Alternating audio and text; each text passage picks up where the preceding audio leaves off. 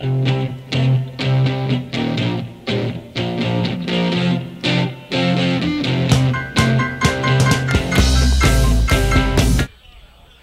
welcome back to this week's edition of the BarroomBlitz.com. Tape live in front of a beer drinking audience here at Casey's. We are drinking Bud Lights. We are talking sports. We got Patzek in full. We got Cheeks. Damarum and Dougie are away. They're having a gay session together. But we have a team. We have another winning team in Philadelphia all of a sudden. Two games over 500 for the first time in like five years, I think.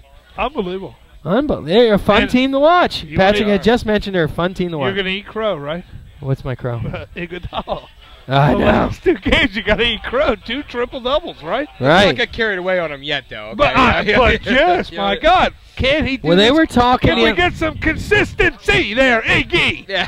No, well, they were talking about how, like last year, that the, the with the system that they had in there with Eddie Jordan's system, that it was all basically they were trying to create a superstar at Iguodala, Right. and Doug Collins had worked with them and said, "Here, follow my plan, Right. and I will get you to where you want to be. Play some defense. Defense creates the turnovers, which gets him his assist and gets him the, the slash because he's still a slasher, but it gets him those quick baskets, and that's how they got to win. yeah, but regardless, he's always going to make way more money than he Well, see, you got, to it- well, right. Well, that's because Right. all the dumb max contracts. Yeah. And you know what? They do the max contracts, and That's going to hurt you know him.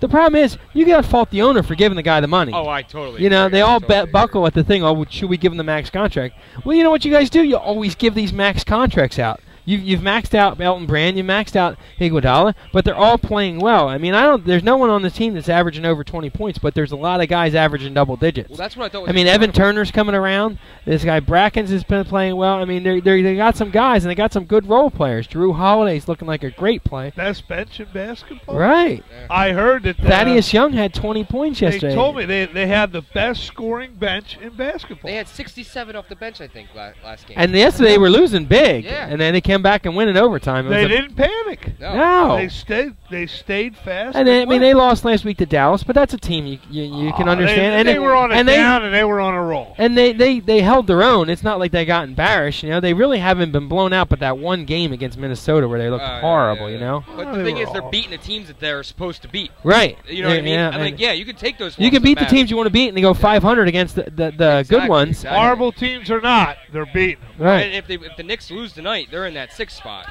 Yep, they're right there in the sixth spot. Yeah, exactly. I mean, and it's and all you need the Knicks to do is play Cleveland, and we'll be in. Exactly. Because they can't beat Cleveland. Sixers are going to play the Heat in the playoffs, The Heat. and they're going to beat You know them. They're going to beat That would be incredible. Hey, yo, I put Oh, And I'm this gonna town go would nuts. go Yeah, I'm going to go nuts. nuts. nuts. I'm telling you, I, I'd be. I can't wait. I hope so. Yo, Yeah. Because I last hate. got excited about basketball here. The Heat are in trouble. They got some turmoil. They're, crying. They're crying. They're crying. Why would the coach say that? I want to know who cried. I want answers. I want answers. It's Bosh. It's I want the truth.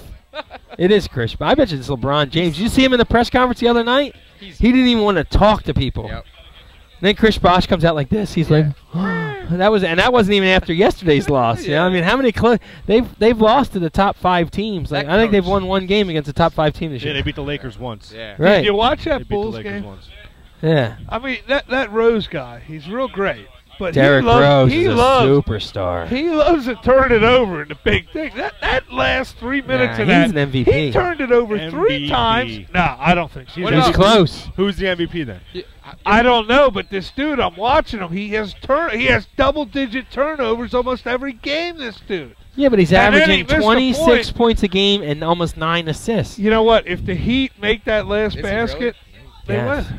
Oh, I mean, Wow. tremendous He's points in the beginning. He's a He's really become aggressive this year. I think that maybe that's why you're getting you're seeing all those turnovers, Chiefs, because they wanted they wanted him to become aggressive. They said he Well, was too he is. passive. He is. They said they were there. I read an article in Sports Illustrated this week, and uh, it, it talks about like how he was going out, like like he was he's like a workhorse in the gym. Like he'll go out, like he lives with two guys, and he'll go to the gym and he'll play this game rough house. It's almost like, it's almost like rough house. I forget the name of the game, but it's basically a two on one, and if you shoot, you stay on or something like that.